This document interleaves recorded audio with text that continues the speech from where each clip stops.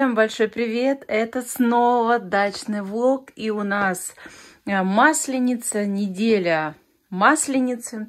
Вот на улице у нас солнечно, прекрасная погода. Я готовлю с утра блинчики. Блины будут сегодня с курицей и с творогом. Я не знаю, здесь у меня целая бутылка молока. Вот, может быть, еще попрошу Сережу привезти, потому что он не с нами на даче, он а, заболел, поэтому а, ему нужно в поликлинику, он ездит там по своим делам, короче. Вот такие блинчики у нас красивые получаются. Я продолжаю красить потолок, вагонку для потолка. Вот здесь уже часть покрашена, две пачки, еще две осталось. И хочу сейчас пойти на улицу, показать вам, какая у нас там прекрасная погода. У нас снова наступили холода. Утром минус 16. Ощущается, я думаю, где-то минус 22. Так что сейчас оденусь и пойдем с вами на улицу. Самое приятное то, что на улице солнышко. Помню, недели три назад приезжала на дачу. Уже, знаете, так птички пели, а, таял снег, капель такая была. Но я думала тогда, что скоро наступит весна и говорила вам, что такое ощущение, что такая погода останется до конца, но нет. Как видите, у нас мороз, все скрипит, даже когда Дайсон выходит на террасу, там все равно есть снежок, у него а, под лапами скрипит снег. Представляете? И, кстати, я, наверное, вам не говорила, но помните, я вам говорила, говорила, говорила, то, что пропало, пропал один чехол с оленем. Вот, я его в итоге нашла за мангалом под розочкой. Когда снег растаял, вот сделаем. Опа! Берем снег. Снег растаял и показалась красная шапка этого оленя.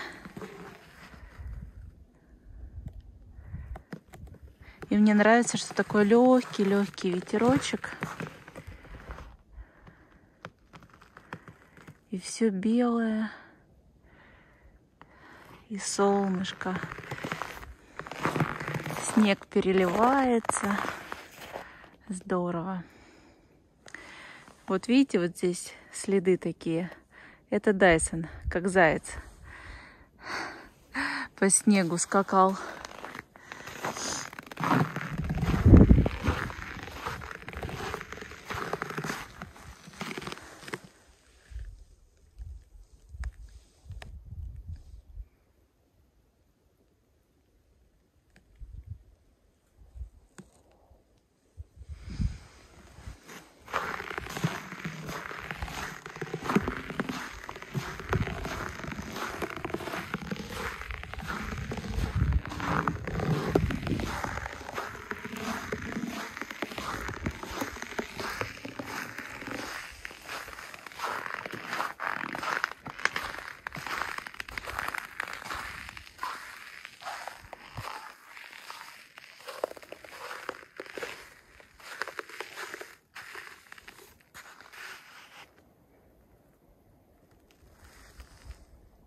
Кстати, блинчики я приготовила. Вот здесь в э, таком противне у меня с курицей, а здесь немного с творогом. Потом все это залью сметаной и уберу в духовку. Пусть немного они пропекутся, но это когда уже друзья приедут. Вот, а пока все это убираю в холодильник, и нужно что-то приготовить на обед. Я думаю, что тоже буду готовить в духовке.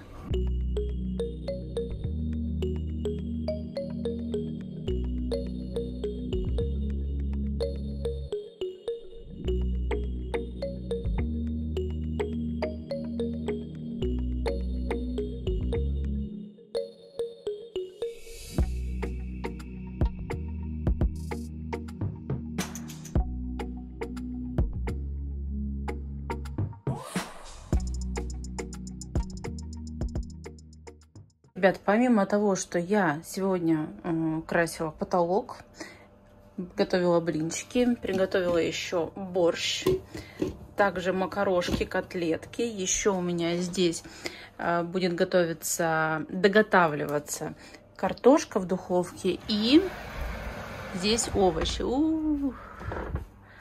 В общем, мы ждем гостей, солнышко уже садится, у нас вечер. У нас уже следующий день. Хочу вам показать, что мы уже сделали.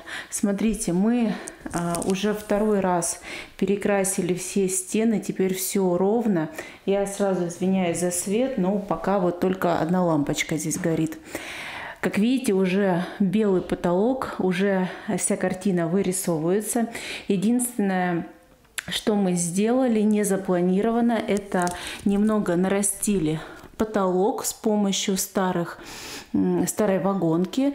И теперь вот на эту вагонку мы укладываем новый потолок. Осталось совсем несколько э, дощечек прибить. Вот как раз сохнут последние последняя вагонка. Уже прибит карниз.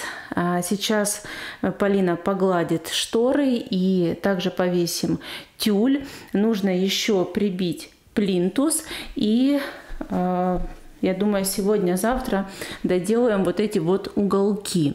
Я отдельное видео сняла про вот эти вот уголки. Сегодня здесь уже ребята будут спать, э, потому что здесь краской не пахнет, все как бы чистенько, аккуратненько будет. Сейчас толком уже, конечно, все совершенно по-другому выглядит. Комната пока кажется темной, так как здесь практически нет освещения, но она, в принципе, также смотрелась и когда э, стены были э, светлее. Вот, мне очень нравится результат, комната преображается. И вот эти вот уголки белые тоже добавляют свою изюминку. Ну что, ребята, комната наконец-то готова. Готова я вам ее презентовать. Немного расскажу. Изначально, если помните, я говорила о том, что здесь будут белые стены. В итоге передумала и все-таки э, сделать эту комнату в такой же цветовой гамме, как и кухня-гостиная. Потолок у нас белый, стены серые, уголки в этой комнате также везде белые. Уголки мы делаем из реек 2 на 2 сантиметра. Очень легко их монтировать. Плюс в углах, как видите, я вам поближе сейчас сделаю, э, очень легко, не надо ничего подрезать, отрезать под каким-то углом. Но если, конечно, захотеть, можно и заморочиться.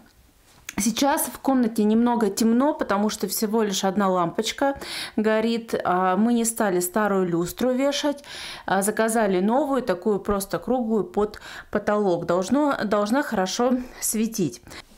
Плинтус, как видите, везде установили. Простой белый плинтус, недорогой, по-моему, по 78 рублей. Мы его покупали. Кстати, неплохой плинтус.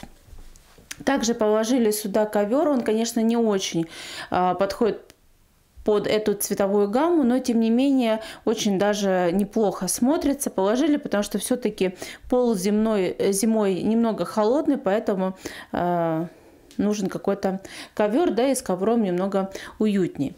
Кровать. Думали, гадали с Сережей, перекрасить эту кровать в белый цвет или нет. Потом не стали этого делать. Возможно, в будущем покрасим. Но мне кажется, что дерево серым очень даже неплохо смотрится. Вот здесь мы в будущем поставим комод. Ищу бюджетный комод, белый, э, и чтобы он был очень вместительный, как раньше в Икее было. Так, а также планируется, смотрите, вот в том углу сделали розетку, я хочу туда торшер поставить, чтобы вечером было более уютно. Но это пока еще под вопросом, это не горит. Сейчас самое главное купить комод. Также, помните, у Миланы в комнате раньше стоял э, икеевский вот такой вот длинный стол. Здесь у детей хранятся разные вот разукрашки, ну, карандаши. Спустили его э, на первый этаж для того, чтобы можно было детям порисовать. Ставили сюда еще один с э, кухни э, ну, вот это вот кресло, оно тоже очень даже классно э, выглядит. Можно дальше сюда будет добавить каких-нибудь полочек, ну, пару небольших, буквально для интерьера. Но, опять же, это не обязательно. Обогреватель, который был под окном, убрали и повесили его возле окна, потому что неудобно шторы у нас всегда были длинные, но все равно приходилось их а, вечером зашторивать и поднимать, чтобы они не дотрагивались до обогревателя. Возможно, можно и ничего не будет, да, если они будут вот так висеть, но мы как-то не рискуем, поэтому всегда их поднимали и решили все-таки обогреватель убрать. Может быть, кому-то может показаться, что комната темная, но поверьте мне, вживую она сто процентов не темная. Не забывайте то, что все-таки здесь нет сейчас освещения, и сама, в принципе, по себе комната, она достаточно темная. Вот, и, конечно, акцентом стали вот такие вот желтые шторы, же дают такой яркий акцент.